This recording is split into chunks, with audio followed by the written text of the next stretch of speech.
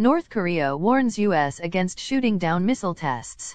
North Korea said any move to shoot down one of its test missiles would be considered a declaration of war and blamed joint military exercise between the United States and South Korea for growing tensions, state media KCNA said on Tuesday. Kim Yo-jong, the powerful sister of leader Kim Jong-un, warned in a statement that Pyongyang would see it as a declaration of war if the U.S. took military action against the North's strategic weapon tests. She also hinted that the North could fire more missiles into the Pacific Ocean.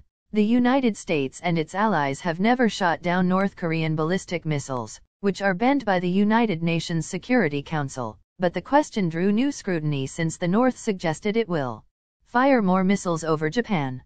Thank you for watching my video. For more videos stay connected and must subscribe my channel.